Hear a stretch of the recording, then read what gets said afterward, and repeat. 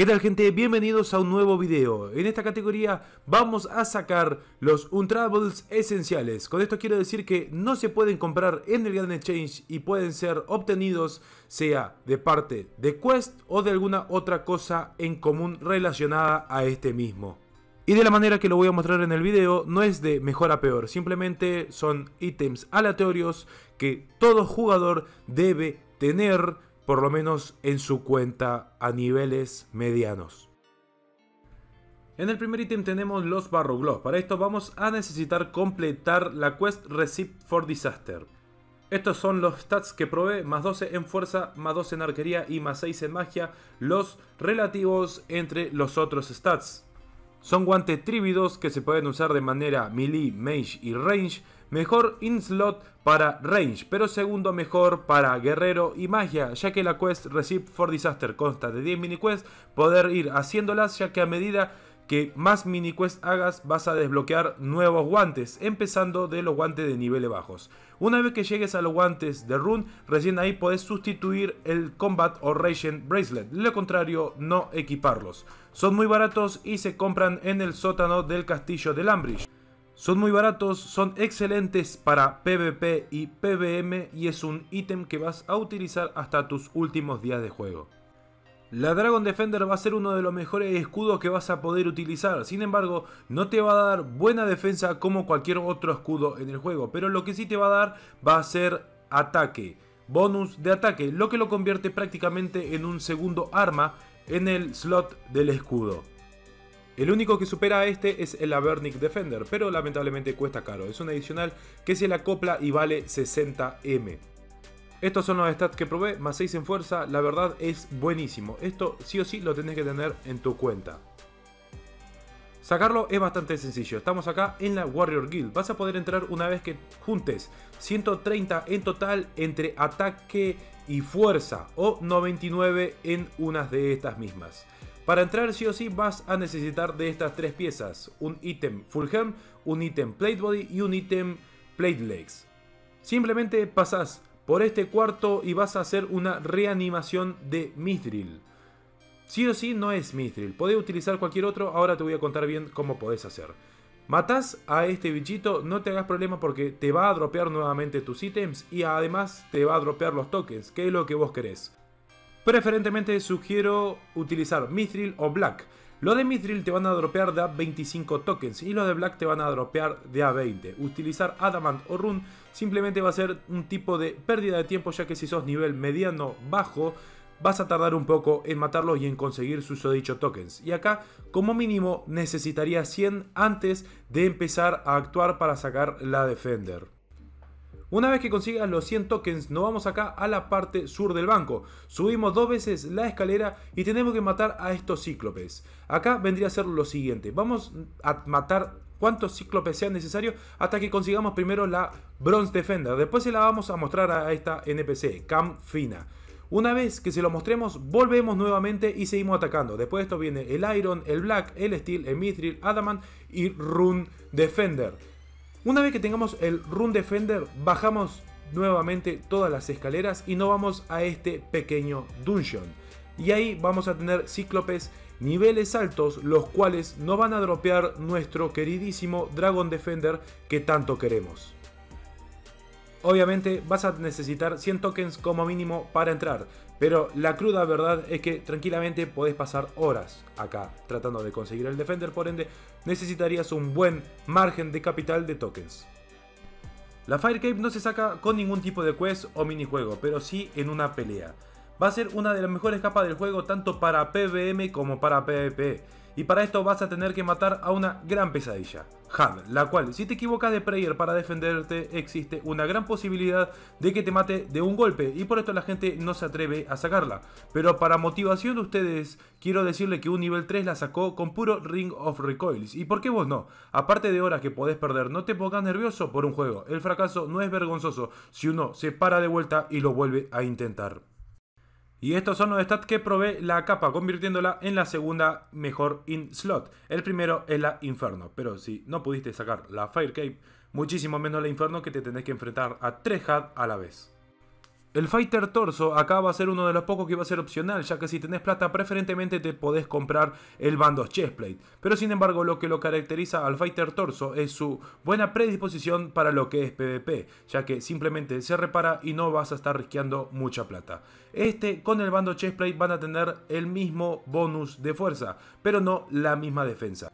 Y la manera de sacarlo es haciendo el minigame de Barbarian Assault, que lamentablemente no lo puedo explicar acá porque si no prolongaría la guía unos 20 minutos más, pero en YouTube existen muy buenas guías acerca de cómo sacar sus dichos puntos el Slayer Mask in View. Para esto vamos a necesitar de 400 puntos para poder desbloquear el armado del mismo. Este va a ejercer un 16.67% en Slayer Task solamente en melee, en guerrero. E imbuido mediante Nightmare Zone te da un 15% adicional en range y mage. Y para imbuirlo necesitas 1.25 millones de puntos. El set de Void va a ser uno de lo que te vas a llevar hasta tus últimos días de juego igualmente en sus tres cascos, ya que con el casco de melee vamos a tener un 10% más de daño y precisión, con el casco de range lo mismo y con el casco de magia vamos a tener un 45% de precisión en magia.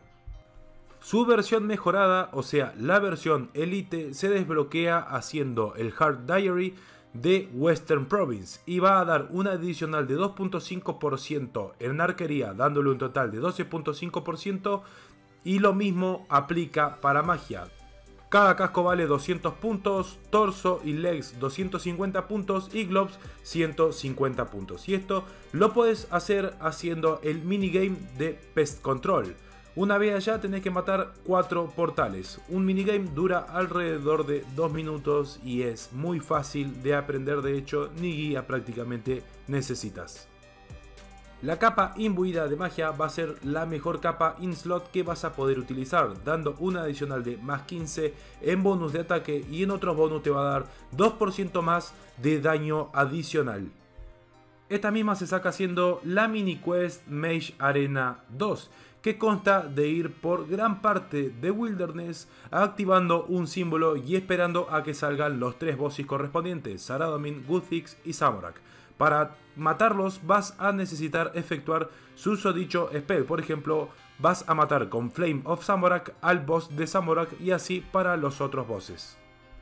Y por si justo te motivé a sacar esta capa, acá te voy a dejar ¿Dónde aparecen estos bosses para que no estés recorriendo todo el mapa aleatoriamente y perdiendo tiempo. En cualquiera de estos lados aleatorios para vos va a salir susodicho boss. Una vez que mates a los tres vas a poder imbuir la capa que vos quieras. Los rings imbuidos. Si bien para comprar el ring no es un tradable, imbuirlo sí. Y para esto también vamos a imbuirlo en Nightmare Zone. Esto lo que hace es duplicar los bonus. Por ejemplo, cualquier sea el anillo Sears, que es magia, Archer, que obviamente es arquería, y Berserker, que te va a dar fuerza, va a duplicar los bonus, pasando de más 4 que tiene Berserker a más 8 y lo mismo para los otros rings. Si bien hay muchísimos rings que se pueden imbuir, estos tres preferentemente son los más comunes, aquellos que dropean los Daganus Kings.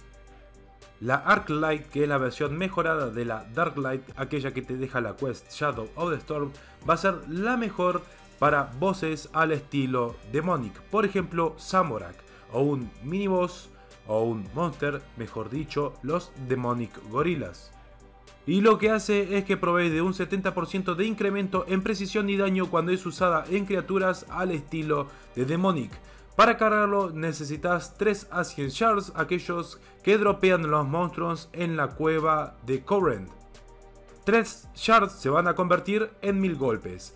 Cada golpe solamente se va a efectuar cuando es un golpe certero, no cuando saca cero. O si bien cuando utilizas el Special Attack del mismo.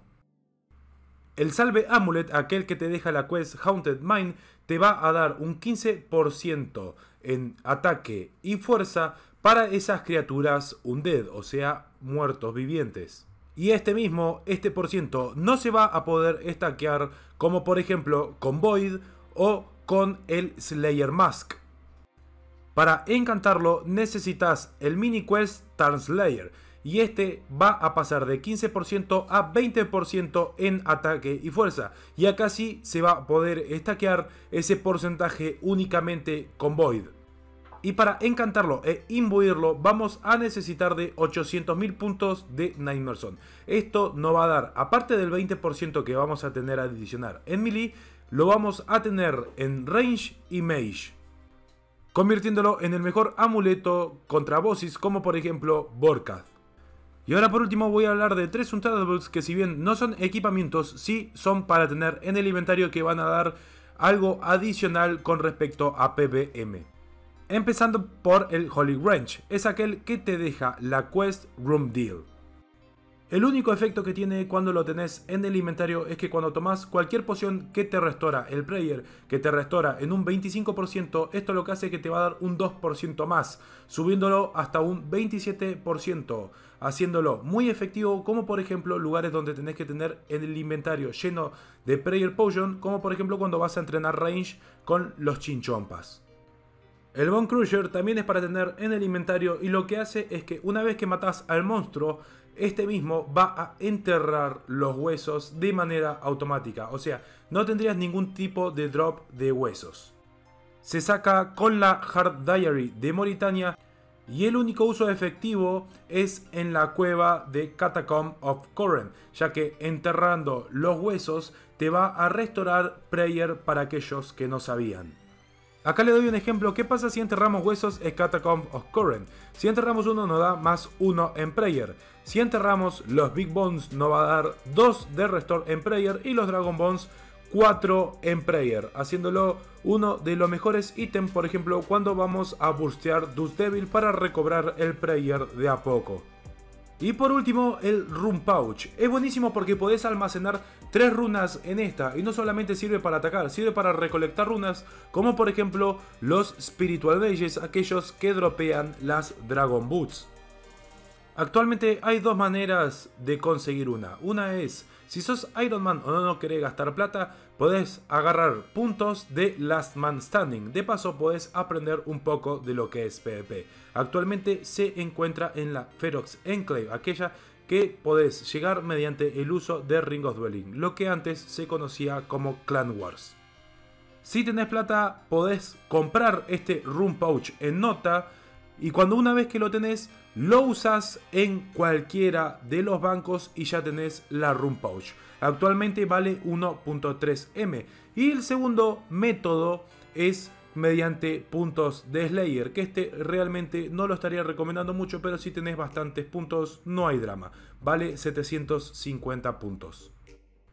Antes de terminar el video, por favor, quiero que le den un fuerte aplauso y le den las gracias a I'm Bell no solamente me donó 3 bond ese día, sino que a cuestión de un par de días después me donó 3 bond más para que la pueda sortear con ustedes, haciéndolo un total de 16 bonds en juego por los 10.000 suscriptores del canal. Así que bueno gente, ya saben ustedes lo que tienen que hacer. Suscríbete si no estás suscrito, dale me gusta y deja tu nombre de Runescape. Cabe recalcar que lo dije a propósito para el final del video. Aquellos que yo vea que comentan dos veces su nombre de Runescape van a quedar automáticamente descalificados. Ya se lo estoy diciendo, espero que por favor hayan esperado hasta esta parte para poder saber esto mismo. Y sin nada más que decir familia, aparte de darle un enorme abrazo a la distancia a cada uno de ustedes, hasta el próximo video. Pretty lies, look me in the face. Tell me that you love me,